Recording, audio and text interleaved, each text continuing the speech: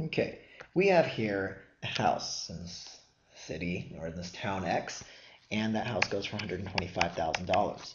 Now there's a property tax, which is a certain percentage of this house, and in terms of money out of this 125,000, property tax is 2,500. Now the question is in quantity in column A, we are wondering what is this property tax, and they're calling it B.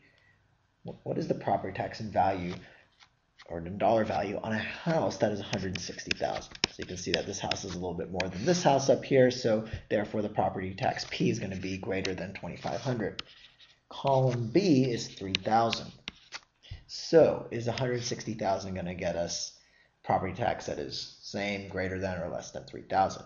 Now, what do you want to notice here? What happens when I double 125? Well, I get 250, which are the first three numbers down here. This is an example where if I were to take 1% of this property tax, that would be 1.25.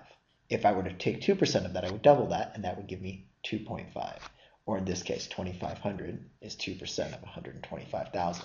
If I were to do the same here, and if I were to take 1%, that would be 1,600. Double that, that would give me 2%, that would be 3,200, which is greater than column B.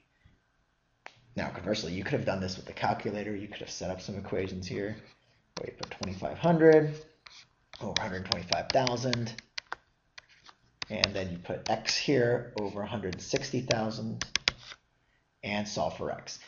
Again, with a calculator, that doesn't take too long, but if you have a facility with the mental math and you can reason 1%, double it to 2%, that is you notice this relationship between 125,000 and 2,500, that can also get you the answer. Either way though, answer is A.